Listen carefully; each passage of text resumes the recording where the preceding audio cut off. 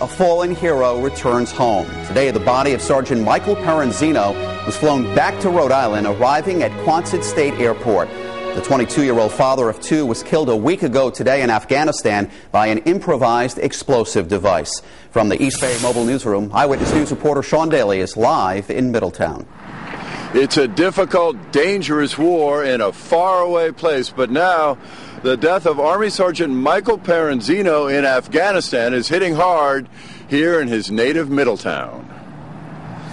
The ethic that I taught Michael was to always try to help, never make it worse, do your best. He loved his children so much, and all I can think to do is just to honor him, I'm just going to do everything I can to raise them the way he was raised and respect and honesty.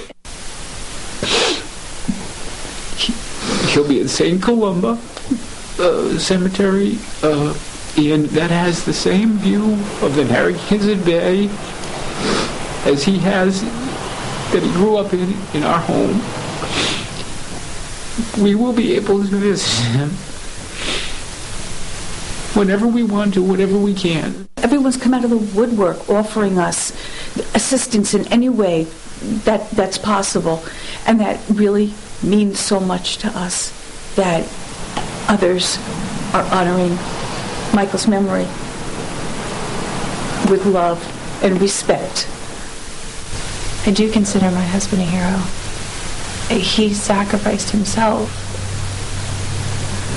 taking care of, of me and our children, you know, and it's and our and to protect our country.